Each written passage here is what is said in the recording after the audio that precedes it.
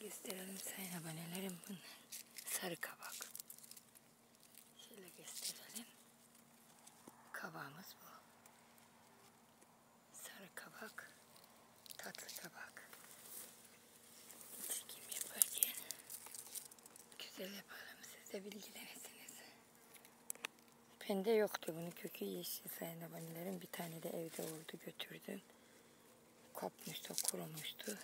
Şöyle iki çeşit veriyor. Yarısı yeşil, yarısı sarı. Bundan tatlı oluyor. Sütle güzel tatlı oluyor. Bende de yoktu. Bir yerden gelmiş bahçeye. Burada olmuş. Tatlı kabak.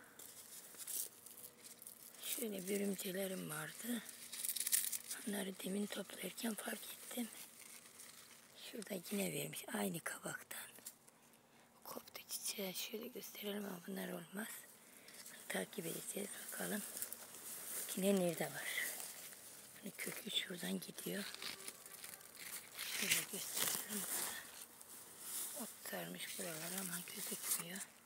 Bir tane var o işte. Bir de herhalde orada var sayın abonelerim. Şöyle göstereyim. Bahçem burası. Şöyle gösterelim. Fasulyelerim de tek tek vermiş. Tohum olmuş. Şöyle koparalım. Bunlar tohum. Yağmurlu olduğu için almam lazım. Çürür. Yeni veriyor. Şöyle gösterelim. Fasulyeleri. Çiçek açmış. Bu getiren fasulye. Şöyle gösterelim. Çiçek açmış. Bunlar fasulye olacak. Bunları dibini açmam lazım. Şimdi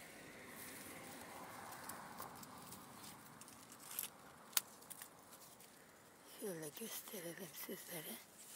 Fasulyem yeni çiçek açmış. Şöyle bakacağım aşağı bakalım. 4-5 tane hoşam kalmış. Bir iki tane de burada var. Başka da yok. Hep kurudu büyük. Sayın abonelerim şöyle gösterelim. Şuradan gidiyoruz. Şurada da var. Merak etmişsiniz sayın abonelerim. Şöyle şundan oluyor. Bilmeyenler için gösteriyorum.